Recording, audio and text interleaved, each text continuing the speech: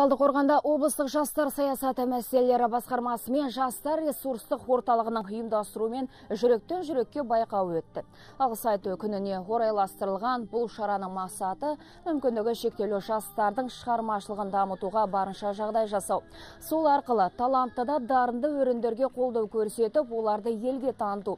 Жетісу жерінде бесінші рет ұйымдастырылып жатқан шара биыл бесінші бес кезең бойынша өтті.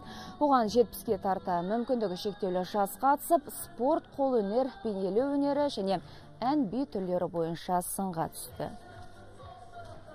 Жақсы байқаулардың бірі жүректен жүрекке деген бәрімізге бәріміздің жүрегімізге жылу беретін жан жылуын төгетін жақсы байқаулардың бірі болып келеді.